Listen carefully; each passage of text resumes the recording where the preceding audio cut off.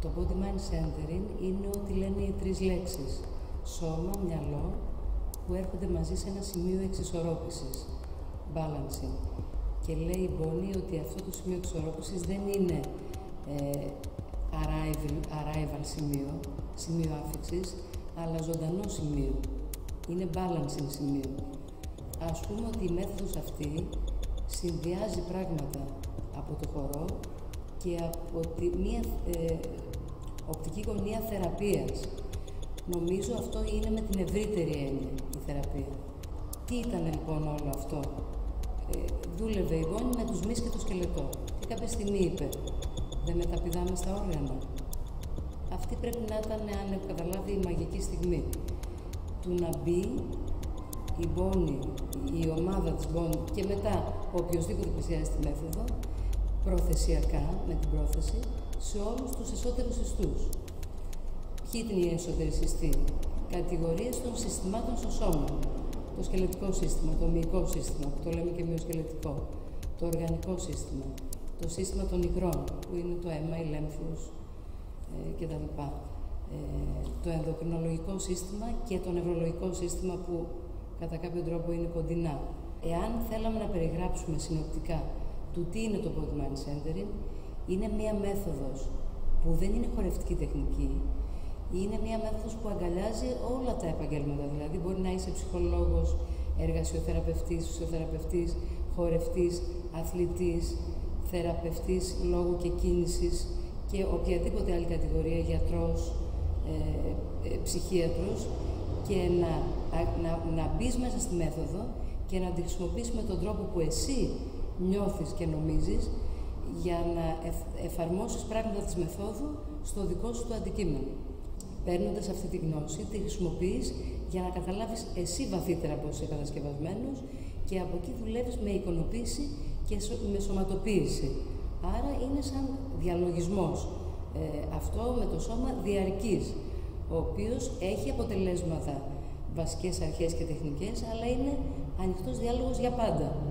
Δηλαδή, καθένας που αισθάνεται κάτι καινούριο, μπορεί αυτό να θεωρηθεί μια ανακάλυψη και να ενταχθεί ε, στα ήδη υπάρχοντα δεδομένα των αρχών και των τεχνικών του Woodman Center. Τι είναι το developmental, η εξελικτική κίνηση του βρέφους από την πρώτη μέρα γέννησης έως την ενήλικη ζωή. Οπότε περνάει από όλα τα στάδια ε, στην κοιλιά, ε, σπρώχνοντας για να σηκωθεί σε ανώτερα επίπεδα, έρποντας, ε, τετράποδο, ε, στηρίζεται για να, γίνει, να έρθει στα τρία και από εκεί έρχεται στα δύο πόδια. Και παράλληλα το developmental, αυτή η φόρμα της εξελικτικής κίνησης, παίρνει ιδέες από το ζωικό βασίλειο. Όπως και τα μοράλα είναι η σάβρα έρπη. Πηγαίνει ομόπλευρα, ασύμμετρα προς τη μία την άλλη μεριά. Τα τετράποδα όλα είναι στα τέσσερα και από εκεί αναπτύσσουν την contralateral κίνηση, την ετερόπλευρη κίνηση, βάσει της, ε, ε, της οποίας γίνεται και το βάδισμα στα δύο πόδια. Το βάδισμα είναι contralateral, είναι ετερόπλευρο, δεν είναι ομόπλευρο. Συν ε, την κυταρική αναπνοή, η οποία δεν έχει σχέση με το να μπαίνει κανείς ε, μόνος του ή με το δάσκαλο ή σε ομάδα στους βαθύτερους ιστούς. Αυτά λοιπόν τα τρία είναι η επανάσταση του Body Mind Centering. Μπορεί κάνοντας κανείς Body Mind Centering να, να αναδιοργανώσει το σώμα του και τον τρόπο που συνδέεται η σκέψη με το σώμα. Δηλαδή η Μπόνη μιλάει πάρα πολύ για το πώς ο νους μέσω του σώματος εκφράζεται και παρομοιάζει το νου με τον άνεμο και το σώμα με την άμμο. Και αν δεις την άμμο πώς κινείται, θα καταλάβεις ο άνεμος πώς κινείται. Αν δεις ένα κινούμενο σώμα, θα καταλάβεις πιθανόν, αν έχεις τη σχετική εμπειρία, τη σκέψη του ανθρώπου που οργανώνει την κίνησή του με τον α ή τον β τρόπο.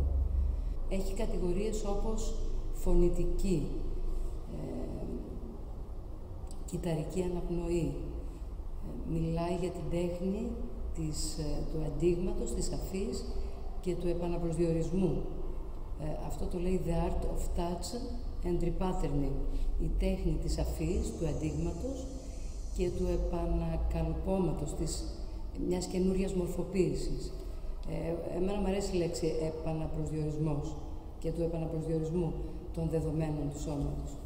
Δούλεψα πάρα πολύ πάνω στη δική μου κίνηση προκειμένου να χορέψω, να χορογραφήσω, να διδάξω, αλλά όταν έπεσα συμπτωματικά σε ένα σεμινάριο του Body Mind Centering, εκεί κατάλαβα ότι δεν είναι ακριβώς έτσι τα πράγματα.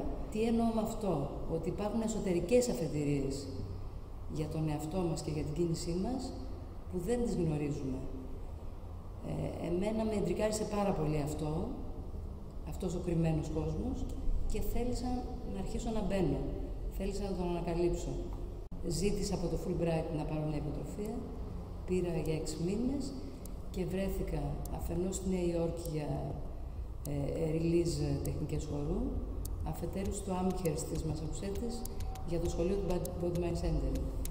Ε, έγινα practitioner, έκατσα τέσσερα χρόνια, καλοκαίρια δηλαδή, που ενδιάμεσα δούλεψα πάρα πολύ.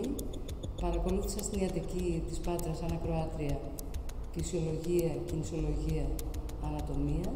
Το Body Mind Centering έγινε για μένα ε, η αφετηρία για να διδάσκω και να χορογραφώ.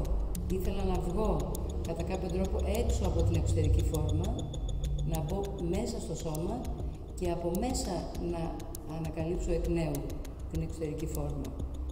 Σαν να λέμε εσωτερικός και εξωτερικός κόσμος και πώς δημιουργείται μια γέφυρα ανάμεσα στους δύο. Αγαπώ πάρα πολύ τη φόρμα, αλλά με ενδιαφέρει, με ενδιαφέρει, με ενδιαφέρει και θα με ενδιαφέρει να επενδύω σε αυτήν και με εσωτερικές αφετηρίες. Ζω στην Πάτρα και έχω δημιουργήσει το κέντρο χορών, ε, ε, χορού Dansarte. Κέντρο χορού και τεχνών. Dansarte. Εκεί διδάσκω σύγχρονο χορό, αυτοσχεδιασμό σε παιδιά και σε ενήλικες και γιόγκα γιατί πρόσφατα έγινα πιστοποιημένη δασκάλα Aigengar Yoga. Το Body Mind Center είναι φιλτραρισμένο, το δίνω μέσα στα μαθήματα και διδάσκω το Body Mind Center σε σεμινάρια. Ε, ξεκίνησα να το διδάσκω στην Αθήνα με την Τζάνετα Μάτο, τη Σαρίτα Μπεραχά και μετά με τη Λαπρινή Κωνσταντίνου κάναμε ένα μεγάλο εκπαιδευτικό κύκλο ενός χρόνου. Βασικά μου έκαναν την τιμή να διδάξουμε μαζί, γιατί έχουν τελειώσει νωρίτερα από μένα και εγώ είμαι practitioner και εκείνες είναι teachers. Και ε, έχω ανοίξει ένα διάλογο με την ε, Γαλλία, ε, με την Τζάνι Ταμάτο και τον Τόμας Γκρέιλ, μέσω αυτών με την Πόνη, μήπως ε, μπορέσουμε να φέρουμε το εκπαιδευτικό του Body Mind Center στην Πάτρα. Θα ήθελα λοιπόν, προτίθεμαι, να έρθει το πρόγραμμα αυτό στην Ελλάδα, όπως ήδη κάνω με το Axis Syllabus του Frey Faust και της ομάδας του.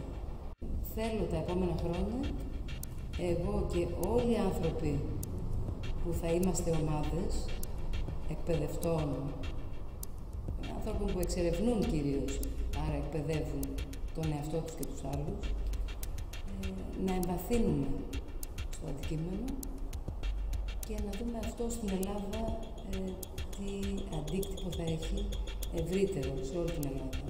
Δηλαδή αν θα δημιουργηθούν καινούργιοι δάσκαλοι από τη μέθοδο και πώς θα μπει μέσα στην κοινωνία.